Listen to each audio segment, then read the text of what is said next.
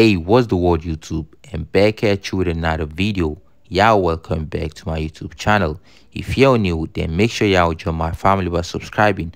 Also, turn on y'all post notifications so y'all can stay connected.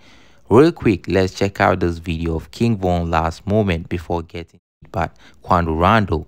On the 6th of November 2020, Von got into an altercation with a 4KT rapper, but sadly, this was the same fight that the rapper Few minutes before that, King Von was seen listening to NBA Youngboy's music before hopping into his car.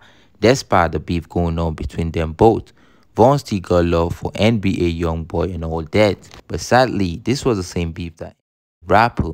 Once again, rest in peace to Dayvon Bennett, aka King Von. Y'all check out this video real quick and let us know your opinion in the comment section. Drop a comment, also leave a like on this video.